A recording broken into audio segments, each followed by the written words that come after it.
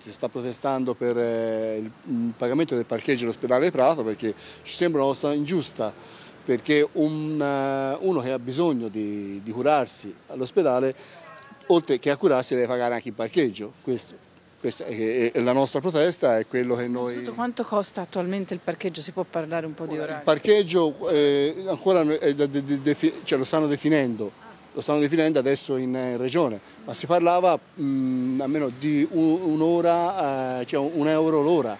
Quindi uno se deve andare a fare una dialisi oppure deve andare a fare assistenza a un, a un paziente perché è all'interno dell'ospedale, se ci sto 8 ore, cioè che deve pagare 10 euro per starci oppure se fanno a giornata, ancora non si sa di preciso come vogliono diciamo, eh, organizzare il pagamento di questo parcheggio.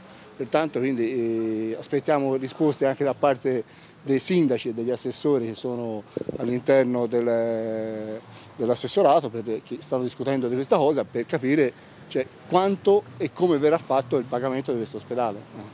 Però ecco, l'unica cosa, qualsiasi cifra sia, per noi è ingiusto. È ingiusto perché cioè, uno, che curare, uno, che si deve curare debba andare a pagare il parcheggio. Cioè, io posso capire, uno va in centro a fare shopping o va a coso, è giusto, vado con la macchina, perché lì addirittura all'ospedale nuovo cioè il parcheggio serve solo ed esclusivamente per l'ospedale